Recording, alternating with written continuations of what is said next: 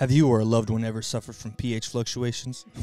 Me too. What's up, y'all? Thank you for tuning in to Dusa Farms. In this video, I'm going to be telling you guys why I personally don't chase pH anymore and probably why you shouldn't. Before we get started, if you enjoy the video, make sure you like, comment, subscribe, as well as turn on the post notification bells.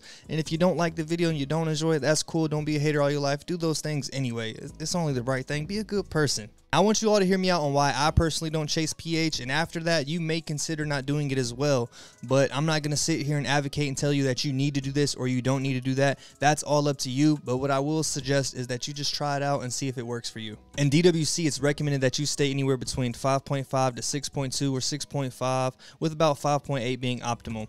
And if you've tried DWC, then you already know it never sits at 5.8 all the way. It's going to fluctuate from there and it could change within a day, two days, 30 minutes, an hour, it could change quite fast. So when the pH moves, what do we typically do? Well, in DWC, we're always trying to make sure it stays at 5.8. So we're going to pH it right back to 5.8 and we're going to try to make sure things are perfect. Sometimes you may find yourself pHing either back down or up. And usually if it's rising up, everything's good. If your pH is increasing, that's a good sign that everything is going well within your reservoir. Your plants are feeding well. The reason that the pH rises is because the nutrient content that's within your water, your plants are feeding well. You know, they're consuming that rapidly. Your PP ppm or your EC is going to be going down. It's going to be decreasing. And guess what? The less nutrients are that's in that water, you know, there's going to be more water compared to that because, you know, when you put your nutrients in the water initially without pHing or anything like that, you're going to see it drop. The pH is going to drop. So as those nutrients leave it, your pH is going to rise. And in my first couple DWC grows, I was constantly chasing 5.8. It had to be at 5.8. If it wasn't,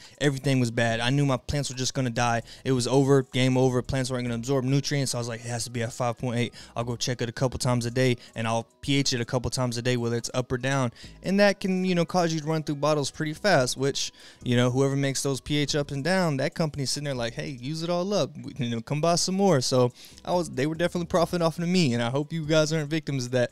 But what I decided to do is I decided to do some research. I was like, why do I have to keep it at 5.8? It's always fluctuating. Something's got to be off. Is it my air stones? Is it this? Trust me, in DWC, that's like our first guess. Like, is it the air stones?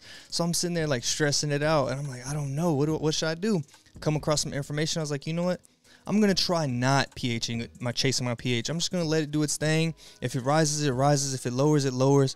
I'm just gonna watch and see what happens. If my plants look good, everything's good. It, it's fluctuating for some reason, and I can't control it. So, hey, if you can't beat them, join them.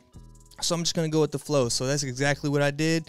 I pH, start my water off. I do my water change, 5.8, give it to my plants. The next day I come and check the pH again. What's it at? 6.1, and I'm just like, okay, 6.1. It's still in range. You know, it's in that 6.2 range, but I'm, you know, 6.5 is like my safe zone. So I'm like, okay, we're good. We're still in range. We still got some room. Next thing you know, the next day, 6.2, 6.3 the day after 6.3 6.4ish right? The day after that it's going back down. It's at 6.2 the day after that 6.0 6.1 and then by the time at the week mark i usually change my water out around the week mark. By the time that i did my water change that day before the you know that day of it was at 5.8 5.9 like a high 5.8 5.9 so me doing that like i'm sitting there like okay the plants looked good throughout the whole process. They were growing rapidly. Nothing was going crazy. I didn't see any deficiencies. So right there, I realized I was like, I'm never chasing pH again. I was like, if my plants can sit here and look healthy, get up to 6.4 and, you know, still do their thing, it comes right back down, then there's no point in me chasing it. All that is happening for a reason. Something's going on. So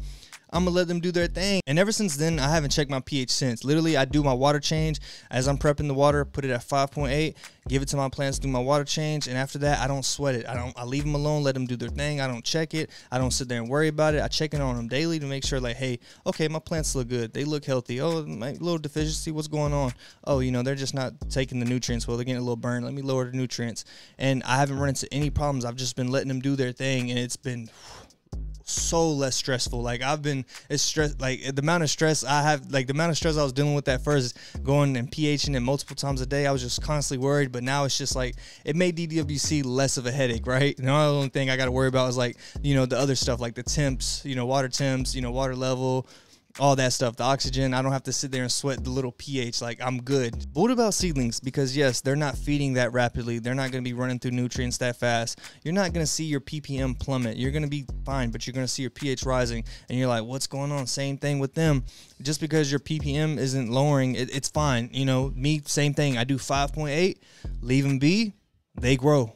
I, I just leave them be. The plant knows what it wants and me getting in the way and mixing things up, the plant's gonna be like, "What are you doing?" You know, the, maybe the plant wants it to increase so it can absorb this nutrient better, and it doesn't want that nutrient, and then it lowers it to get that nutrient. But if you're constantly sitting there like, "Hey, this is what you want. And it's like no i don't. It's like you're not my dad you know? So that that's how it's going going on. And i do the same thing for my seedlings. I just 5.8 and i leave them be. Yeah, so that's going to be it. Like i said i don't chase my ph and after watching this you may consider not doing it as well. I've had several people come up to me. They're like hey blah blah blah blah blah. You know we exchange conversation i was like yeah i don't chase my ph you know that's how i deal with it. They're like really?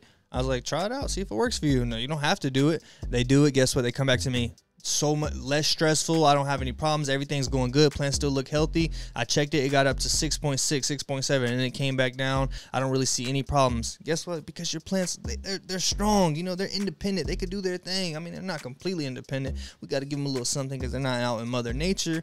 But, you know, they know what they want. They can, you know, do some stuff. And if you start to get way too high, like if you go above like seven, right? If you're going above seven or below five, pretty much what I would say if you go below 5.5 or 6.5 like drastically at that point I would you're out of the safe zone. I would say like okay, do some a little adjusting. You don't have to adjust all the way back to 5.8, but get in the happy zone and think about what's going on. You might have the ratios mixed up. You might got some additives in there that just aren't meant to be. So you know, don't mess with too much stuff. You know, don't try to add too much. The, the simpler, the better. But try it out. Let me know if it works for you. Comment down below. Uh, like I said, like, comment, subscribe, do all those things. Turn on the post notification bells. If you guys are interested in supporting the channel, you can head to shopdusa.com, get yourself some merch, or you can head over to the Patreon and get exclusive access to content. But that's going to be it. Thank you guys for tuning in. Until next time, peace.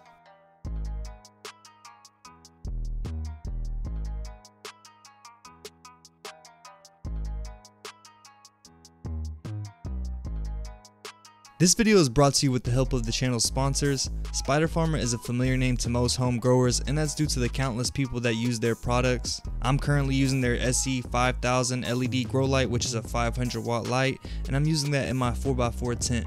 This light fits perfectly within my tent and offers max light coverage throughout the entire canopy. I'm honestly a huge fan of the bar style lights and they do it right over at Spider Farmer, but the main reason I'm attracted to this light is due to the aesthetic and the accents of the orange that these lights, it just caught my eye and it's part of the logo color so I had to go with that. They have a huge variety of LEDs ranging from 30 watts all the way up to thousand watts, so it's safe to say there's something in there for all growers. If you're interested in checking out any other products, check out the links down below in the description. They'll lead you straight to their website, as well as Spider Farmer being nice enough to give us a discount code. So at checkout, make sure you use code DUSAFarms and earn yourself a discount.